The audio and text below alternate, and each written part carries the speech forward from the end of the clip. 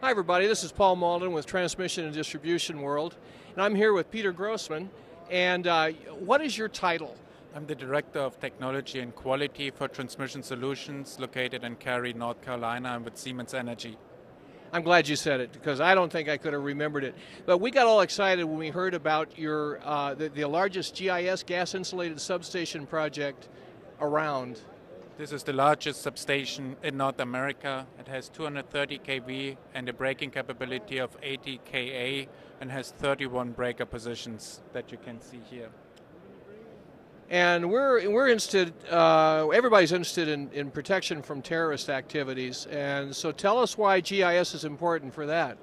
GIS provides a very high security level based on the fact that all the parts on the high voltage are enclosed in metal housings, so that is a protection already. Typically, those GIS substations are located inside buildings. So if you look from above, you don't see a high voltage substation, you just look on a building. Let me put you on the spot. So if you're going to go from a, just an open air, not GIS substation, to an enclosed 230 GIS substation, what would be the differential in cost, percentage wise? Well, if you speak about the equipment itself, the GIS equipment is maybe double as expensive as an air insulated substation. On the other hand, you save up to 80% of the space that you would need to a comparable air insulated switchgear.